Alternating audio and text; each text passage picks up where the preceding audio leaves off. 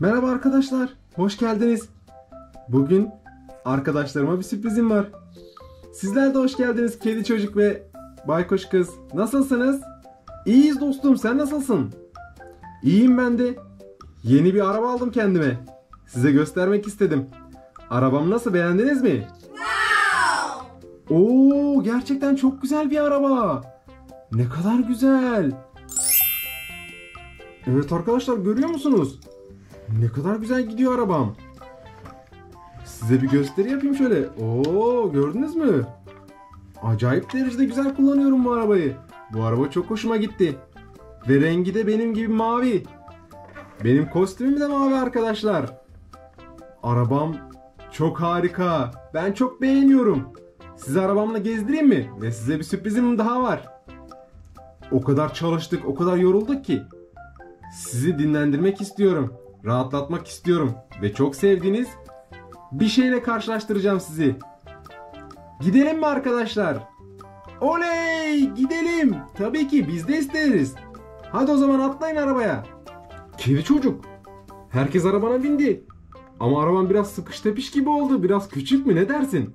Evet doğru söylüyorsun. Hepimiz sığamadık. Biraz zor sığdık. Kertenkeleye bakar mısın? Kertenkele ezildi altımızda. İyi misin kertenkele? İyiyim ama biraz zor nefes alıyorum. Dayan kertenkele hızlı bir şekilde gideceğiz. Tamam mı? Hazır mısınız arkadaşlar? Hadi gidiyoruz.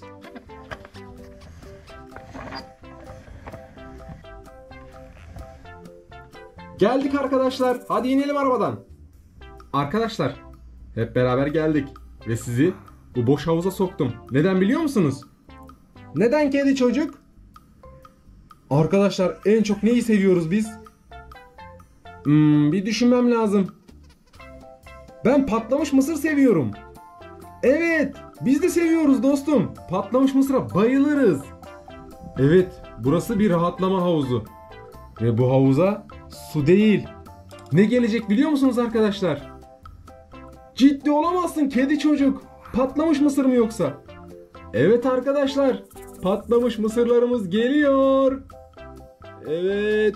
Hazır mısınız? Gelmeye başladı.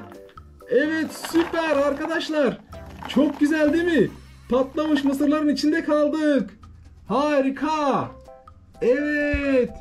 Nasılsınız çocuklar? İyi misiniz? Evet arkadaşlar, iyiyiz. Kertenkele çocuk konuşmuyor bile. Arkadaşlar kertenkele çocuk sadece patlamış mısır havuzunda yüzüyor ve patlamış mısır yiyor. Sen iyi misin baykuş kız? Evet dostum, halimden çok memnunum. Patlamış mısır yemeyi çok severim. Kedi çocuk, harika bir fikirmiş bu. Ne kadar rahatlatıcı. En sevdiğin şeyin havuzuna girdin. Hem yiyorsunuz hem de yüzüyorsunuz. Çok güzel. Afiyet olsun hepinize. Teşekkür ederiz dostum.